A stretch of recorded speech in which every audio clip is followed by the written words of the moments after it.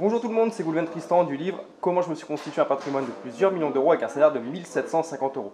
Je suis content de vous retrouver aujourd'hui pour un nouvel interview, pour un nouveau témoignage, des gens qui passent à l'action, des gens qui sortent de leur zone de confort. Et aujourd'hui, je suis en présence de Steve qui va nous raconter son parcours, qui va nous raconter bah, toutes les galères qu'il a pu avoir et jusqu'à aujourd'hui où il a vraiment bah, explosé dans, son business. Avant toute chose, si ce n'est pas encore fait, je vous invite à télécharger mon dernier livre, Trouver acquérir une bonne affaire avant tout le monde, qui se trouve dans le lien en haut ou en bas. Et maintenant, on va commencer. Steve. Goodwin. Merci de me recevoir chez toi euh, à Paris. Merci à toi, bienvenue. Pour celles et ceux qui te découvriraient, qui ne te connaissent pas encore, est-ce que tu peux te présenter en deux, trois mots? Bonjour à tous, je m'appelle Steve Onkonou, donc je suis consultant en stratégie de communication digitale et visuelle. Alors qu'est-ce que c'est la stratégie de communication digitale et visuelle? J'accompagne les entrepreneurs, les personnalités et les marques en fait à avoir une visibilité sur les réseaux sociaux, surtout sur Instagram, à augmenter leur chiffre d'affaires et je les accompagne dans le relooking, euh, c'est-à-dire qu'en fait grâce à leur histoire, grâce à votre histoire, je vous accompagne à développer un super pouvoir pour pouvoir passer votre business, votre marque, votre entreprise à la vitesse supérieure. Et aussi, j'accompagne les marques déjà établies comme les euh, jeunes entreprises à augmenter leur business. Parallèlement, je suis influenceur puisque j'ai une communauté sur Instagram de plus de 100 000 personnes qui me suivent. Et en fait, grâce à ça, je travaille avec des marques afin de, voilà, de travailler sur leur communication. Et aussi, j'ai une marque de maroquinerie qui s'appelle Black Hats Paris. Euh, Black Hats Paris, qui est euh, la première marque de maroquinerie wax, en fait, qui pousse avec l'audace à, réaliser, à se dépasser. Alors nous tous les deux, Steve, on s'était rencontrés il y, a, il y, a, un peu plus d'un an maintenant au séminaire de, Maxence Rigotier. Exactement. Où euh, voilà, au, détour d'une pause, on avait, on avait échangé. Euh, je t'avais raconté un peu mon parcours, mon histoire qui t'avait pas laissé insensible, et tu m'avais raconté aussi ton, ton histoire que j'avais, euh, bah, qui m'avait pas laissé insensible et qui m'avait un peu, qui m'avait énormément touché. C'est vraiment cette histoire que j'ai envie que tu véhicules aujourd'hui aux internautes par rapport à toutes celles et bah, qui, vont se lancer dans l'entrepreneuriat par rapport à toutes celles et bah, qui rencontrent des problèmes, des difficultés. Parce que toi, ton, tu étais un ancien, euh, tu pas forcément, n'avais pas forcément confiance en toi. Tu rencontrais quelques, as, rencontré quelques, quelques soucis euh, de santé. Mm. Est-ce que tu peux revenir justement sur l'avance Steve, justement par rapport à tout ce que tu as pu faire aujourd'hui, par rapport à, la personne que tu es devenue? C'était qui le Steve il y, a, il y a 5 ans, il y a 10 ans avant, justement, pour que les, les gens bah, sachent qui était, qui t'étais réellement, toutes les, toutes les problématiques que tu as, as rencontrées, pour justement qu'il y ait un maximum de personnes, peut-être qu'ils vont se reconnaître dans ton parcours, ils vont se dire mais il l'a fait. C'est possible, si lui l'a fait, moi aussi je peux le faire. Et c'est vraiment ça que, que j'ai vraiment envie que, que tu véhicules à, aux internautes. Ok, eh ben, écoute, merci pour ça. Enfin, c'est vrai que moi, ton histoire m'a beaucoup touché aussi, Gouloued. Euh, pour la petite histoire, euh, enfin, moi je suis arrivé à Paris quand j'avais 14 ans. Euh, je suis originaire du Bénin. En fait, j'étais venu au début, c'était pour jouer au football, mais ça ne s'est pas passé comme prévu. en fait, on m'a décelé une maladie qui s'appelle HLA-V27, qui est de la spondylarthrite ankylosante, qui touche les articulations. Donc, j'ai deux prothèses de hanche et en fait, j'ai passé deux années dans l'incapacité de marcher. En fait, c'était un peu compliqué au début parce que du coup, enfin voilà, tu es jeune, tu as 14 ans, donc tu as des gens qui se moquent, euh, qui rigolent un petit peu de, Là, les deux prothèses d'ange que tu as, que as eues, tu les as eues à quel âge? Je les ai eues à 14 ans et à 15 ah ans et demi. D'accord. Voilà. Donc, euh, donc c'était très très tôt. Euh, en fait, quand, quand on m'opère, le... Bah, déjà quand je fais le test, normalement j'étais là pour jouer au football. Et donc du coup, quand, quand, quand, l'accident se déclare, donc du coup je me fais tacler. Et, après, j'arrivais plus à marcher. En fait, on va voir le, médecin à la, à la pitié salpêtrière. En fait, il, dit à mon, il me dit, avec mon père à côté, bah, votre fils, il marchera plus de sa vie. Et donc, euh, la chance que j'avais, c'est des parents, euh, j'ai la chance d'avoir des parents qui sont très, euh, très dans le développement, qui, qui m'ont accompagné à dire bah, écoute, aie confiance en toi, c'est des conneries, c'est sa réalité à lui, c'est pas ta réalité à toi, et tu, tu, vas marcher.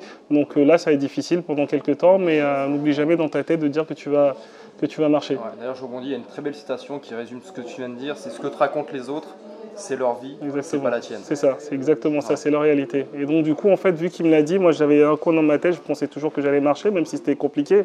J'ai essayé plusieurs fois à me lever, à tomber, enfin voilà, c'était un exercice, mais aujourd'hui j'en rigole. Et euh, donc progressivement, bah, j'ai essayé, je suis resté debout. Ensuite, ils ont vu que j'arrivais à rester debout. J'ai fait de la rééducation et euh, ça a mis deux ans ce process, mais, euh, mais finalement... Bah, et, à ce, moment-là, comment, comment, comment tu le sens? C'est quoi ton, quoi ton, ton leitmotiv? T'as quoi en ligne de mire pour te dire je vais, je vais, je vais retrouver mes capacités, je vais, je vais réussir, je vais faire mentir cette personne qui m'a dit que j'arriverais plus à marcher? C'est quoi vraiment ce leitmotiv et ce Qu'est-ce que tu visualises au bout du tunnel qui te motive justement à, réussir? C'est des projets, c'est un rêve, c'est quoi concrètement?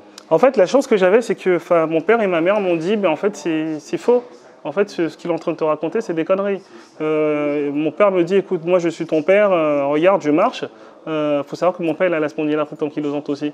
Donc voilà, je marche euh, euh, et ma mère elle me disait ben ouais, moi je marche aussi, tes frères et sœurs, j'ai six sœurs et deux frères. Et en fait, j'étais très bien entouré par ma famille qui venait tout le temps, qui venait me voir, qui venait à l'hôpital, qui venait en centre de rééducation à Viry-Châtillon. Et donc en fait, ce qui s'est passé, c'est que fait moi dans ma tête, j'étais conditionné en fait à marcher parce que du coup, dès qu'il venait à chaque fois, il me disait bon alors aujourd'hui tu as essayé, ok c'était un peu plus difficile, demain ça ira mieux. En fait, c'est le voilà, le mental qu'ils m'ont donné qui ont fait que, que, que j'y croyais. Ensuite, ce qui a fait que ça a fonctionné aussi, c'est que moi, depuis tout petit, j'étais fan de, enfin, je suis toujours fan de, Yves Saint Laurent. En fait, Yves Saint Laurent, moi, c'est la personne qui m'inspire et qui m'a inspiré, qui a fait que j'ai lancé ma marque de maroquinerie, euh, parce que c'est une personne qui était audacieuse, c'est la première personne à avoir faire défiler des noirs.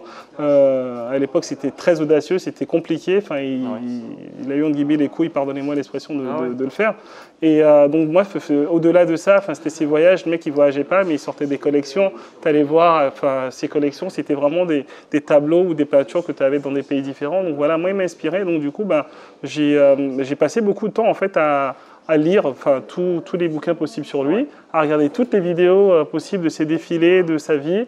Et euh, enfin, je peux te la raconter par cœur, en parler pendant des heures. Mais c'est une personne qui m'a inspiré. En fait, en plus, quand je faisais ça, il faisait beaucoup de collections colorées je m'accrochais en disant, ben, en fait, je vais marcher, je vais sortir, je vais lancer ma marque et je vais faire une marque colorée, un petit peu comme Yves Saint Laurent. Je me disais, je vais être le nouveau Yves Saint Laurent, en fait. D'accord. Euh, et euh, je pense que c'est ce rêve qui a fait que que, que j'ai pas lâché et que je me suis accroché à, à, pouvoir euh, bah, remarcher et, et vivre mes rêves. Tu mets deux ans, ça Je mets deux ans, exactement.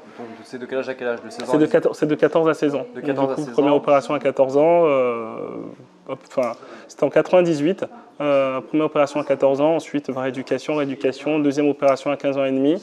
Et ensuite, euh, bah, j'avais déjà commencé à, à, retrouver mes capacités pour avoir la deuxième opération. Et du coup, ouais, ça, ça, ça a pris. À ce moment-là, tu viens en France pour un rêve qui est de devenir footballeur. Exactement. Oui, c'est ça. Ton rêve à 14 ans, tu vois que c'est fini. En, plus de, en plus de savoir que ton rêve va être fini, on t'annonce aussi que tu risques de, de, ne plus marcher. Et tu trouves le mental, tu trouves cette volonté de, dire non, je vais y arriver. Parce que déjà, tu dois essuyer bah, ce rêve de footballeur qui, voilà, qui s'éloigne. Et tu dois maintenant te battre non plus pour être footballeur, mais pour réapprendre à marcher. À 16 ans, tu réapprends à marcher, 16-17 ans. Et là, comment tu vois Après, là, tu deviens, je suppose que tu deviens, entre guillemets, intouchable. Quoi.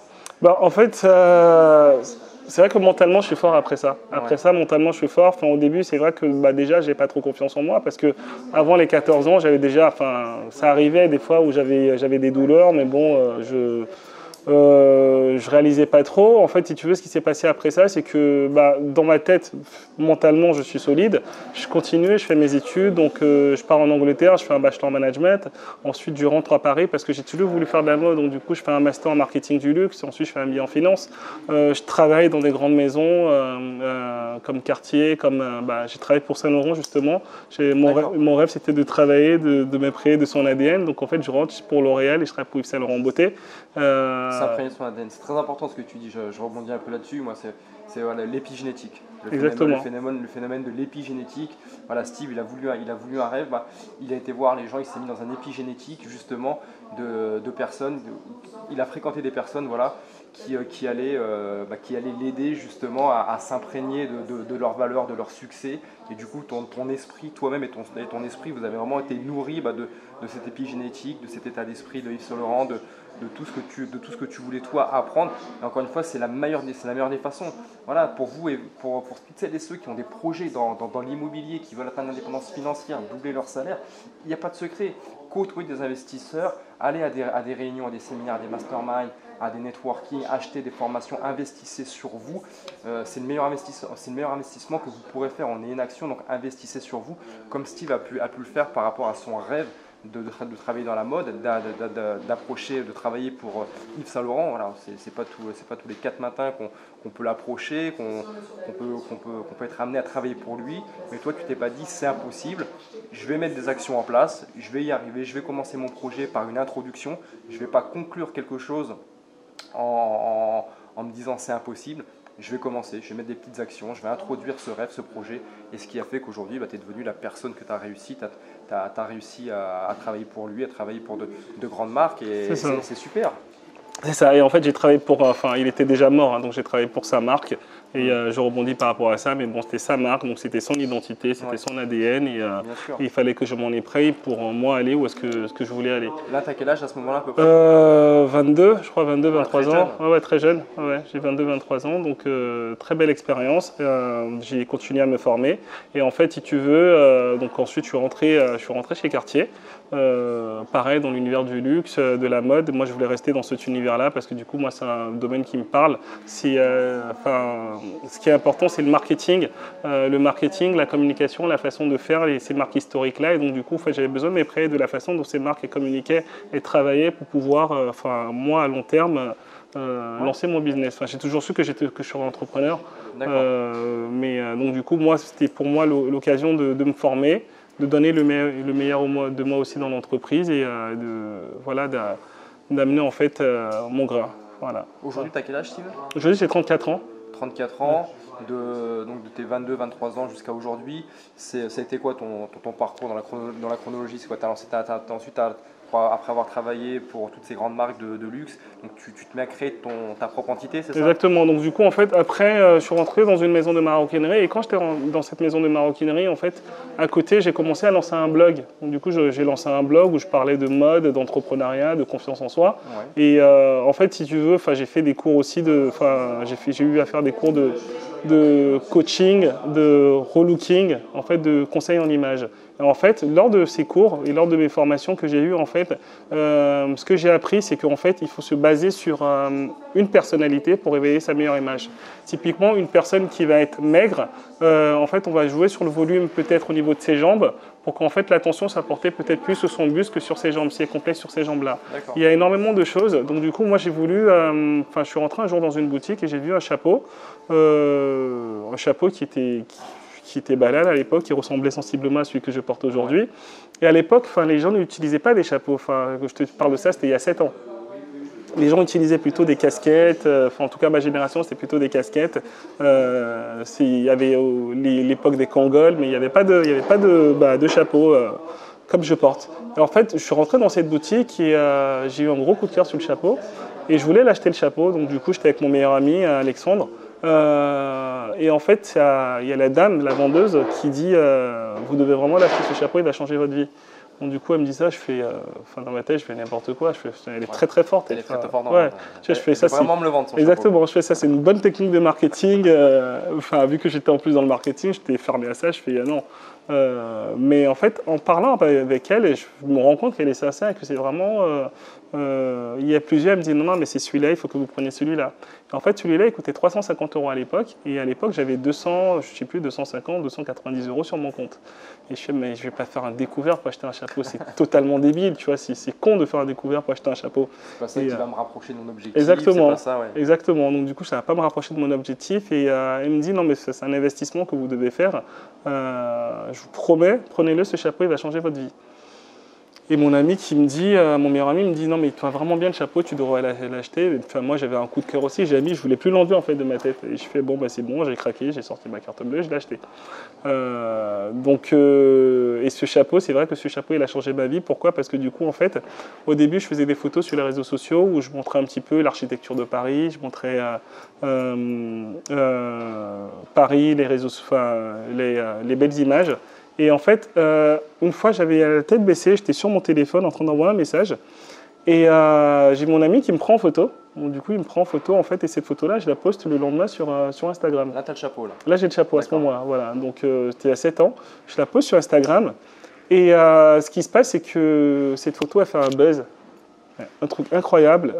je sais plus, j'ai 1000 likes, j'ai beaucoup de commentaires à l'époque, j'avais 50, 60 likes sur Instagram, tu vois. Enfin, je ne savais même pas ce que c'était d'avoir des likes et tout. Et je vois beaucoup de personnes qui en parlent, des personnes qui commencent à reprendre des photos avec la tête baissée, qui disent écoute, j'ai acheté un chapeau pour suivre ton mouvement. Parce que du coup, euh, ça c'était après. Est-ce que juste après en fait cette photo-là, donc des gens qui ont aimé, je repose une photo de moi le lendemain sans chapeau. Je me suis dit, bah, c'est moi en fait que les gens aimaient. Ça marche pas tant que ça, tu vois. Donc je repose la photo le jour d'après avec, avec le chapeau. Et en fait, tête baissée. Et en fait, pendant un moment, je ne montrais pas mon visage. Donc j'ai créé un buzz tout autour sans, sans, sans vouloir mmh. créer un buzz en fait, où les gens ne savaient pas qui c'était, si c'était un homme ou si c'était une femme, parce que j'ai un look qui est, qui est, aussi un peu atypique. Euh, enfin voilà, enfin je peux changer tout de suite de look. Euh, enfin et c'est ce que j'amène aussi quand je fais du conseil en communication euh, digitale et visuelle, quand je relook les personnes. Je m'inspire de leurs histoires, mais je prends, voilà, je me dis, c'est pas fermé, tu peux t'habiller, tu peux prendre une pièce d'une femme que tu peux utiliser sur toi, une pièce d'un homme que tu peux utiliser sur toi quand tu es une femme. Voilà, donc j'avais un look qui était atypique, on ne savait pas si c'était un homme ou une femme. Et en fait, typiquement, ce qui s'est passé, c'est que voilà, ça créé une petite émulsion, et donc du coup, je me faisais appeler de Black ou de Black sur les réseaux sociaux. D'accord. Et euh, bon, maintenant, mon nom sur Instagram, c'est Steve Unkponou. Euh, mais voilà, donc du coup, après cette émission, je me suis dit, ben, en fait, euh, pourquoi pas créer, euh, enfin voilà, pourquoi pas créer une marque de chapeau, pourquoi pas, parce que du coup, le chapeau, ça inspire, ça donne confiance aux gens. Et, euh, et, au préalable, enfin, j'ai commencé à travailler sur le développement personnel, j'ai commencé à me former, c'est bien que tu parles de formation, parce que du coup, je continuais à travailler euh, pour l'entreprise dans laquelle j'étais, et euh, à côté, bah, je faisais des formations, je me formais. Donc la première formation que j'ai faite, c'était celle avec David Laroche, où j'avais rencontré, il disait, enfin, il m'avait fait faire, enfin, il nous avait fait à tous, on était là, des plans à je crois que c'était à un an, cinq ans, dix ans, où est-ce que vous voyez. Donc du coup, je m'étais fait un objectif en disant... visualiser. Voilà, exactement. Je me suis entraîné à visualiser en disant je vais, je vais quitter. Donc après, euh, j'ai fait d'autres formations. Euh, avec Max Piccinini, Maxence Rigotier. Enfin voilà, j'ai commencé mm. à... Bah, c'est long à se rencontrer aussi. J'ai commencé à, à, me former, à rentrer dans le monde de l'entrepreneuriat, à rencontrer des personnes, à faire des masterminds. Et en fait, tout simplement, donc du coup, j'ai pris, j'ai pris le... Il bah, faut savoir que quand, enfin, mon parcours, voilà, tu parlais de mon parcours, c'est que j'étais directeur, je suis rentré euh, directeur adjoint de boutique, j'ai fini directeur commercial, donc j'avais un réseau de boutiques dont je m'occupais. Je gagnais plutôt bien ma vie, et, euh, mais j'étais plus aligné avec ce que je faisais, j'avais envie de faire autre chose, tu vois. Et, euh, et donc du coup, bah, j'ai décidé de, de, lancer ma marque. D'accord, ta marque à ce moment-là n'existe pas encore. Exactement. Tu achètes des chapeaux, tu te fais ton kiff avec les chapeaux, mais tu visualises pas, tu ne te projettes pas encore sur la création de ta propre marque. Et là, de l'achat de ton premier chapeau. Je visualise en fait, la, pardon, je visualise la création de la marque, mais, euh, mais, euh, mais voilà, je, euh, je elle n'existe pas encore à ce moment-là. D'accord. De combien de temps à peu près, de l'achat de, ton premier chapeau jusqu'à jusqu'à la création de ta marque? Ça me prend deux ans. Ah, seulement deux oui, ans. oui, ça me prend deux ans. Ah, d'accord, très rapide. Donc euh, voilà, j'achète le chapeau. Euh, il y a un mouvement qui se crée autour. Après, en fait, j'ai commencé à être appelé par des marques pour pouvoir leur faire un déplacement de produits, pour pouvoir parler. Euh, en fait, ils aimaient bien mon histoire, ma façon de travailler, ma façon de fonctionner, ma mentalité. Donc en fait, enfin. déplacement de produits que tu fais aujourd'hui, tu veux citer des marques tu veux... Aujourd'hui, je peux en parler. Je, je travaille avec Perrier, par exemple, avec des marques, on va dire Givenchy Beauté. Bah, par secteur, en fait, ça va, ça va être très bien dans la mode dans l'agroalimentaire, voilà, avec des chocolatiers, euh, dans la distribution, enfin, avec des boissons comme Perrier, euh, si, euh, avec GQ, avec les magazines de presse avec qui je travaille. Quand, je t'avais rencontré, Microsoft. quand je t'avais rencontré avec, au séminaire de Maxence Sigotier, tu étais bien avec ton photographe et tu faisais, si je me souviens bien, c'était pour des chemises. Exactement, exactement. C'était pour Figaré, Figaré Paris, oui, avec qui je travaille aussi. Donc voilà, en fait, c'est des marques avec lesquelles euh, je suis sollicité par plusieurs marques, euh, mais je travaille vraiment avec des marques qui ont des histoires fortes. Euh, peu importe que ce soit des grandes marques établies ou des petites marques, hein, peu importe, mais moi c'est l'histoire qui va m'intéresser, c'est plutôt l'ADN, tu, vois, les valeurs qu'elles vont transmettre. Moi les valeurs, moi en tout cas dans ma société, j'ai des valeurs de, de respect, j'ai des valeurs de famille, j'ai des valeurs d'audace et j'ai des valeurs de confiance en soi. Moi c'est ce que je dis tout le temps, tu vois, à Condi, soit d'autres personnes, il faut avoir confiance en soi, il faut croire en son projet, il faut, faut, faut, faut, être respectueux. Voilà, c'est ces valeurs-là qui m'animent, donc du coup après ça se passe forcément toutes ces mêmes valeurs, mais en tout cas, il y a un fil conducteur et moi, c'est ces marques-là avec lesquelles je travaille. Euh, j'ai aussi des valeurs de, voilà, de, de, valoriser le, travail local, Made in France. Euh, c'est des valeurs qui me parlent aussi, tu vois. Ta marque de chapeau, maroquinerie, euh, on peut te trouver où? Des personnes qui, seraient, qui, seraient, intéressées pour pour te suivre Pour te suivre, déjà, on peut, on peut, te suivre où sur. Alors, on peut me suivre sur Instagram, donc du coup, c'est Steves, S-T-E-V-E-S, H-O-U-N-K-P-O-N-O-U, ça c'est sur Instagram. Et donc, du coup, en fait, euh, euh, ah, j'ai lancé ma marque, mais j'ai aussi lancé mon agence de consulting, donc du coup, de consulting en communication digitale et visuelle. Ta marque, déjà, on peut la, on peut la retrouver où? La marque, on peut la retrouver, donc du coup, en fait, au Front de Mode à Paris. Donc, du coup, c'est un concept store qui est au Front de Mode. D'accord, et tu l'as aussi en physique? Exactement. C'est pas non plus sur, voilà. uniquement sur Internet. Voilà, voilà. En fait, il y a, on a plusieurs points de vente. Là, on va faire le pop-up, un pop-up au printemps euh, du Louvre, là, cet été. Pendant deux mois. Donc, du coup, si la vidéo sort avant, on peut me retrouver juin, juillet au printemps du Louvre. C'est 99. sera déjà sortie. Voilà, 99 rue de Rivoli. En fait, on fait un pop-up pendant deux mois. en fait, on va, voilà, je vends ma marque. Euh, on peut retrouver en ligne. Ta, ta, boutique en physique Non, j'ai pas, pas de boutique en physique, j'ai un showroom. Un showroom. Voilà, j'ai un showroom. En fait, c'est sur rendez-vous. On vient, ça s'appelle l'Atelier Meraki. D'accord. C'est euh, dans le 11e, rue Neuf Popincourt. On peut me contacter pour ça. En fait, c'est vraiment sur rendez-vous que voilà que qu'on qu monte les produits. Euh, et, en ligne, bien sûr, blackhatsparis.com. Euh, c'est vrai qu'on a la plupart de nos ventes qui se font en ligne parce que du coup, en fait, euh, vu que moi je travaille énormément sur Instagram, grâce à Instagram que j'appelle le Champs-Élysées du digital, on peut directement choper les produits en ligne. Donc sur la marque, sur le compte Instagram de la marque Black Paris, il y a le lien euh, blackasparis.com où on peut choper en ligne directement. Après, on est présent euh, chez United Arrow. United Arrow, je suis fier de parler à chaque fois de United Arrow parce que c'est le grand magasin, c'est le best des magasins au Japon. Donc, euh, on est distribué aussi là-bas. on vient de faire une collaboration avec le magazine Glamour. On a sorti des grands tote bags, des maxi tote bags comme je les appelle, qui sont des sacs où en fait on peut, on peut aller faire la lessive et styler, mettre un maximum d'effets dedans. Quand on a des enfants, quand on a des enfants, on peut, voilà, on peut mettre un maximum d'effets dedans aussi.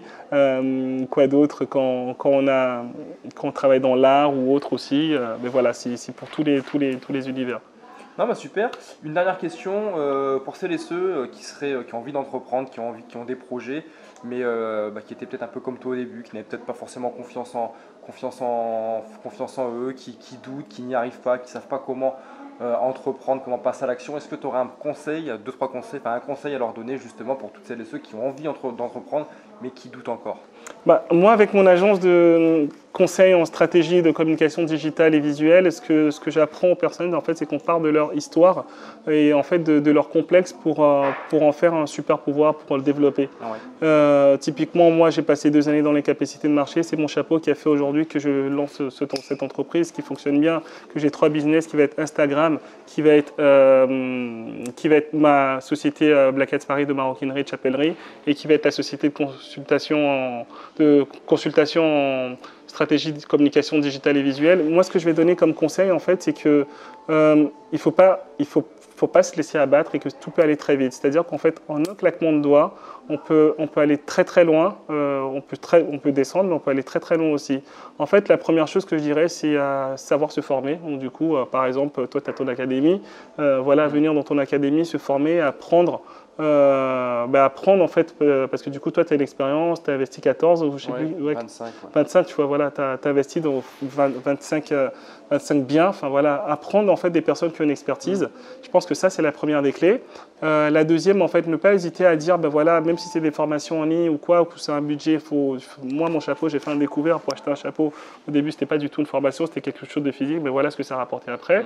Mm. en fait, à partir du moment où vous pensez un truc à votre cœur, vous avez envie de faire ces choses-là, faut se former, faut prendre euh, le temps de faire des formations, faut lire beaucoup de, bouquins, faut, faut se déplacer, faire des masterminds, des séminaires. C'est comme ça en fait que déjà vous allez apprendre les personnes dont vous faites les masterminds, les personnes dont vous écoutez les séminaires, mais vous allez vous créer un réseau aussi, parce que c'est hyper important d'avoir un réseau autour de soi, parce que du coup avec le réseau, Typiquement, je sais que tu peux me donner par exemple des conseils dans l'immobilier. J'ai des projets immobiliers, donc du coup, voilà, tu, ah, tu peux me comparer dessus. Moi, euh, typiquement, je peux te donner des conseils aussi sur euh, le relooking, sur la stratégie d'image. Euh, voilà, il y a, en tout cas, il y a un, réseau qu'on peut créer autour de soi qui est hyper important aussi. on peut mettre en relation des personnes pour que vous puissiez vendre vos produits aussi. Typiquement, tu vois, il y a une personne dont tu me parlais pour un défilé, par exemple. tu me mets en, réseau, en relation avec cette personne-là. Moi, je peux te mettre en relation avec une autre personne par rapport à ton business aussi. Mais voilà, en fait, ça va créer un gros réseau. Et euh, ce que je dirais comme conseil, c'est qu'en fait, moi j'étais salarié, euh, je pensais que, bah, voilà, je pensais que j'avais un salaire qui était correct, que je ne pouvais pas faire mieux, mais en fait, si, aujourd'hui j'ai beaucoup plus euh, aujourd'hui que, que, ce que j'ai gagné à l'époque. Donc, si juste prendre En fait, il faut se dire so what? So what? Qu'est-ce qui va se passer en fait? Même si, euh, au pire, qu'est-ce que je risque Ce que je risque, c'est euh, ça aurait été une belle expérience. Je rencontrerai beaucoup de personnes. Euh, je me formerai, j'aurai de la culture générale, j'aurai des histoires à raconter, et puis, et puis voilà. Donc, si, en fait, les gens ont peur, mais il faut juste pas avoir peur et avoir le courage de se lancer. Et en fait, c'est facile quand je dis d'avoir le courage de se lancer, mais il faut prendre le temps de se former. Euh, je me répète, il faut prendre le temps de se former, avoir un plan en disant ok, je vais me former, je vais, euh, je vais commencer à lancer ce process qui va me rapporter un revenu à côté. Et ensuite, une fois que j'ai ce revenu, que je pérennise, que j'ai mes clients, Ensuite, après, je pourrais quitter mon entreprise ou peut-être pas, continuer à rester dans mon entreprise pour investir ensuite dans d'autres domaines, dans l'immobilier, qui est voilà, une valeur qui est, qui, qui est dure et qui est certaine.